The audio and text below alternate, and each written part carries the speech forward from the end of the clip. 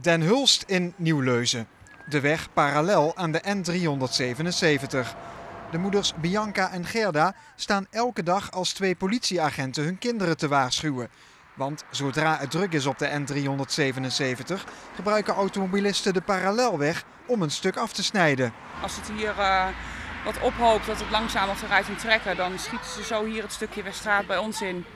En dan, uh, zo gauw ze dat bochtje hebben gemaakt, is het plankgas. En dan gaat met behoorlijke snelheden ook.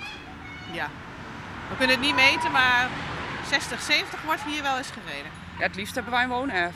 Dat het gewoon stapvoetsrijden is, duidelijk aangegeven, duidelijke parkeervakken, dat het gewoon ook veilig voor de kinderen is. Dat is onze grootste zorg.